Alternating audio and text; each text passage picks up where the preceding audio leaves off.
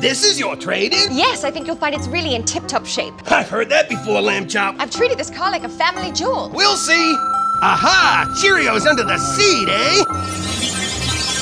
Oh, you got a leaf in your grill. That's gonna cost you. Uh-huh. Ooh, Georgia Clay. Long drives, eh, Miss Prissy? Prissy? This car's a mess. I can give you a hundred bucks tops. What? Tired of dealing with dummies? Only Route 22 Toyota has the smart way to trade. Cheerio!